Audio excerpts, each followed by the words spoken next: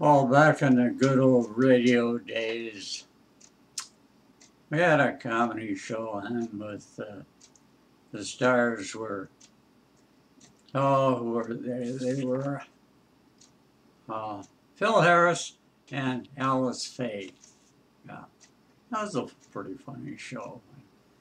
Phil Harris had this little song. He'd say, "Smoke, smoke, smoke that cigarette." Smoke, smoke, smoke until you smoke yourself to death. I saw St. Peter at the Golden Gate, and he don't want to wait. So smoke, smoke, smoke that cigarette. Yeah.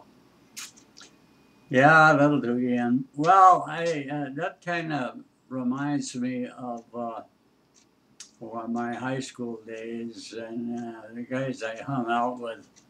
Uh, the thing to do is to get in, get into drinking beer and smoking cigarettes, right? That was a while back, about a hundred years, something like that, fifteen more or less.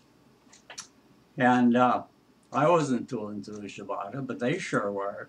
Yeah, well, uh, someone handed me a cigarette, and I puffed on that a little bit, you know. I just draw a little smoke and blow it out. And when I I thought, well, I'm going to inhale one, see what that's like. So I took a big inhale. And oh, was that terrible? I got so dizzy. uh, I couldn't, if I would have been standing up, I would have fallen on the floor. That was the first and only and last time I'm ever going to, I'm, I'm going to smoke cigarettes. That Another thing I didn't like about it was kind of economic. I thought, you buy these cigarettes, so what do you do? You pay money to get them, and then you burn them up. Uh, you, you got a pile of ashes, and you throw that away. And I thought, what kind of sense is that? You buy something, you burn it up, and throw it away. So part of the reason why I never got to smoking is I thought that was pretty uneconomical. But uh, it was mainly because that, that inhale was terrible. Made me just so dizzy. Oh, okay. Well, it's somewhat similar with beer. One time a buddy was over at my house and my parents weren't there. We had a few bottles of beer. I don't know where we got them. But I took a swig of beer and I thought, yuck. I, I this stuff is good. You're like, no, right? You know, I kind of an analogy that I think of when I, the uh, way I think about the taste of beer is it seemed like this is this is what dirty dishwater would taste like.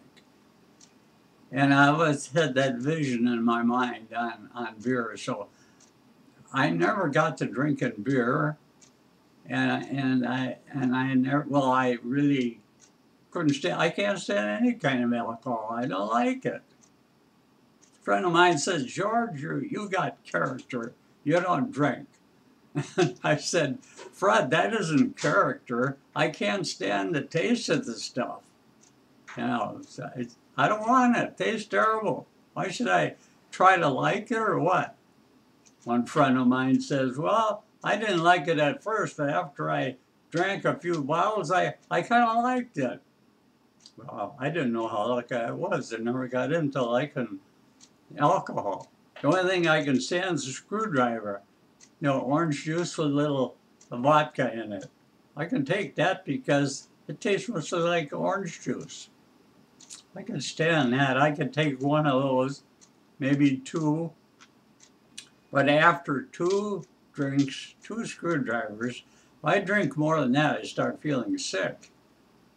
So I, I, I have a nephew that's just like that. If he drinks alcohol, he says he gets sick, so he doesn't drink. Uh, he's like his, his poor uncle. That's me.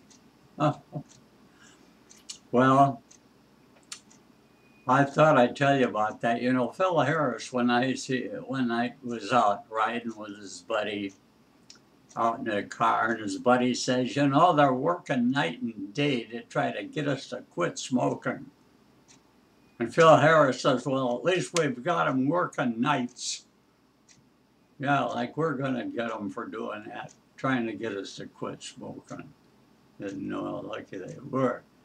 And I realize now that uh, how lucky I was. I hated that stuff to start with, so I never got onto it. And here I am, 180 years old, and, and I, I don't need it, and I don't want it, and I don't like it. So um, I lucked out on that. Well, what else was I going to tell you at this wonderful time? I don't know. Just wanted to tell you why I like, uh, I don't like, I don't smoke and I don't drink hardly anything alcoholic. Just don't like it. So that's the way it is. Well, thanks for listening, and I, I thought it time for me to get on uh, get on YouTube and try to make a video here and see if I get somebody to somebody might be interested. I don't know. But anyway, you know, thanks a lot and um, stopping in, and we'll see you again next time.